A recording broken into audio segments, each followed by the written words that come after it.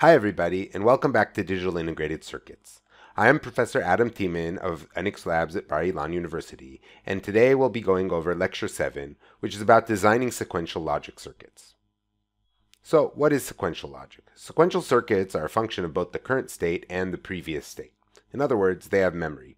So if in our previous types of uh, circuits we had a Boolean function, which was a, common, a combinational logic circuit or a combinatorial logic circuit, um, now, sometimes we take the output of these this combinational logic and we want to use it as an input. So we take the current state, the previous answer to what our inputs provided as outputs, and we want to provide that as additional inputs.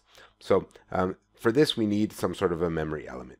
The majority of the sequential circuits are synchronous. That means that they use a clock, as we see here, to synchronize the logic paths, and we'll discuss why immediately.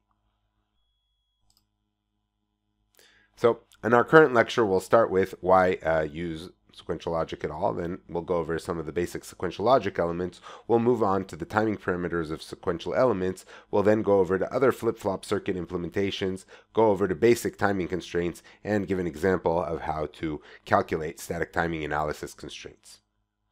So let's start with our basic motivation. Why should we use sequential logic? And our explanation comes through an example. We'll look at two examples. The first thing is an accumulator circuit, where um, sequential methods are essential to eliminate races. If we don't use um, sequential logic, we will probably have races and um, we won't be able to do any calculations. That is the main reason for using sequential methods, and that's why almost all of our designs, our digital designs at least today, are synchronous.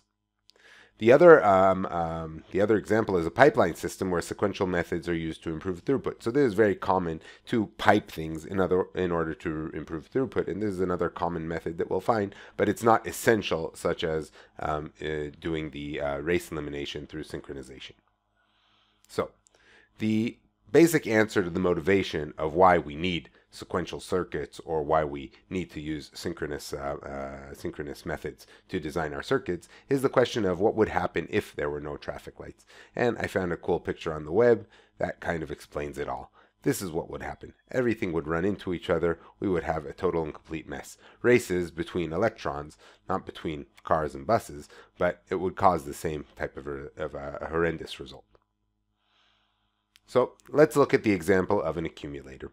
Um, just as a kind of a, a, a, basic definition, an accumulator is a register that uh, sums a list of numbers. Therefore, it feeds back the output to the input, as we can see here, um, that the output from the circuit goes back into the uh, into the accumulator itself. Now, Without a register, there would be the possibility that races would occur and we would get erron uh, erroneous outputs. So if we were um, inputting three uh, consecutive numbers into the accumulator, 0, 1, and 0, the answer should be 1 at the output because we only accumulated one um, entry. But what, what actually happens? So at the beginning, we um, start with a 0, and the 0 at some point turns into a 1. Well, the 1 goes over out to, to, to the out over here, and so we have 1 at the output. However, the output goes through the feedback loop as we have over here, and the 1 reaches um, this uh, uh, this node over here, this input to the accumulator. Now at this point we have a 1 at both the input, uh, the two inputs of the accumulator. And depending on the delay and so forth through the circuit, now the 1 and the 1 would be summed up, and actually instead of the 1 here we would have a 2. So our final output before this turned back into a zero would be 2, and that would be a mistake. And that's because there's a race between the logic. We didn't mean for the 1 to be accumulated again before um, the next bit was actually driven into the accumulator.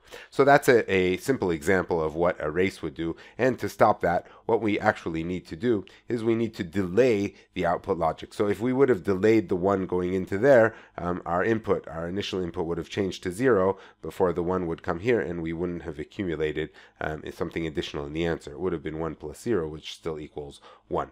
Um, the usual way to do this is actually to use a register, which we'll see later, to use a sequential element, which will be synchronously timed to stop the, um, the feedback loop, such as a traffic light that stops the traffic from going until it's time to continue into the, um, the, the junction. So it's essential to use sequential logic when paths have different delays but need to converge together. We always have to slow down our fast paths so they arrive along with our slowest path. So again, we always look at our slow uh, at our slowest path, and we have to take all the faster paths, slow them down so they arrive at the right time.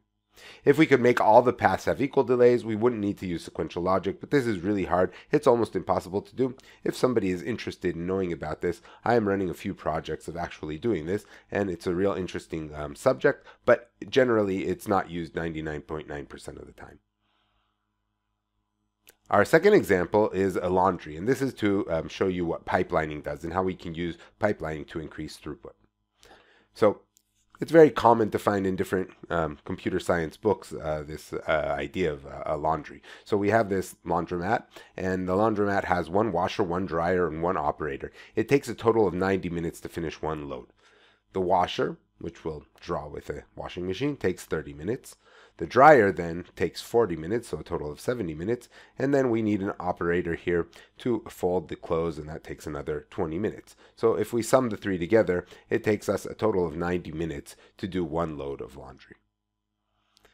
If we would do this sequentially and just drive in uh, each of these uh, um, operations one after the other, as we saw before, one load of laundry takes 90 minutes to, uh, to finish.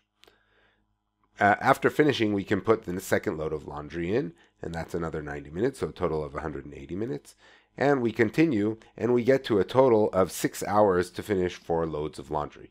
And that's because we used a standard sequential design. When we finished one load, we um, started working on the other load. But what pipelining does is it sees that we actually have resources that we can reuse when they're when they're finished with their job. In our pipeline example, we actually have three different resources here. We have the washing machine, we have the dryer, and we have the, the folder. And, and they're separate from each other. So when the washing machine finishes its job, it's actually idle and we can um, reuse its time for the next load. So our first load obviously takes uh, uh, takes uh, 90 uh, minutes. Um, that's the, the way life is. You know, we can't reduce the latency of this. But after finishing our first load uh, through the, wa uh, the washing machine, we can actually start the second load. And the second load can um, operate at the same time that we're actually doing the drying. And um, we can continue like this and reuse our, our loads in, in this type of a way.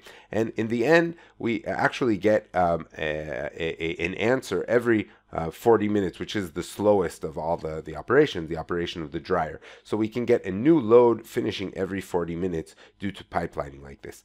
In, at the, in the total, when we have this small example of four loads of laundry, we were able to finish um, the whole thing in three and a half hours instead of the six hours before. And it, it gets better than this. And again, our throughput becomes uh, that it takes actually 40 minutes to finish a load of laundry instead of the 90 minutes, which uh, is the initial latency and, and the time it takes to use a standard sequential approach. So we can do this with data as well. And that's uh, the basic thing that we want to show. So if it takes 10, uh, 10 time units, for example, uh, say 10 nanoseconds or something like that to process an instruction, what we could do is we could perform one instruction every 10 time units. And so we put the instruction here on the left side. We uh, put it into the sequential, into the combinatorial logic. It has this long delay of 10 time units, and then we get an output. And that's our initial latency, and that's what happens if we want to do one, um, one instruction without actually using some sort of pipelining.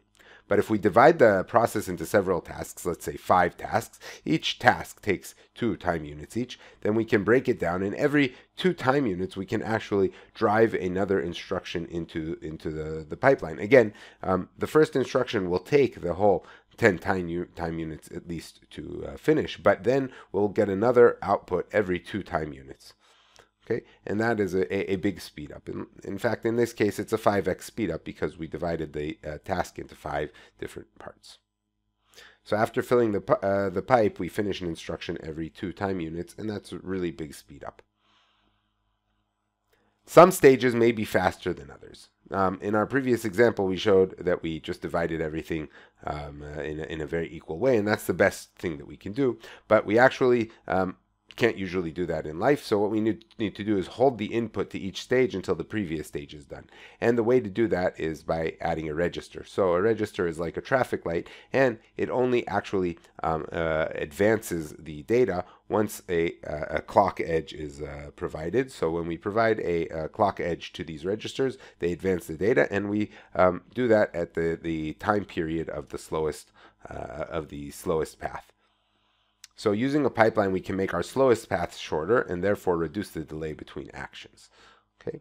All data paths are built using a pipeline of some sort, either to eliminate races or to increase throughput. So again, um, the two reasons for using sequential or synchronous logic is really um, two. First of all, eliminate races, which is essential or else we'll get an erroneous output, but also to increase throughput by reducing the size of our, um, of our longest path um, and thereby uh, providing an output at a higher frequency. Um, as an example that I'm sure you've seen in, in, in an early um, computer science uh, CPU type of a course, we have a classic five-stage uh, RISC pipeline, which um, really we have, uh, we could do this in one cycle, um, do everything from fetching the instruction through decoding, executing, um, and writing back the answer. We could do it in one cycle, but that's a very long cycle. Instead, we can just go and put a set of registers in between each of these uh, kind of uh, natural uh, borders between the, the, the the, the, operations, and we can um, clearly divide uh, our operation into five pieces and make our operation um, up to 5x faster. It's not actually 5x because it depends on how we can really balance out each of these pipe stages and has to in take into account the overhead of the register uh, timing. But really, these can be um, almost negligible in some cases, and it's really worthwhile to do this type of a speed up.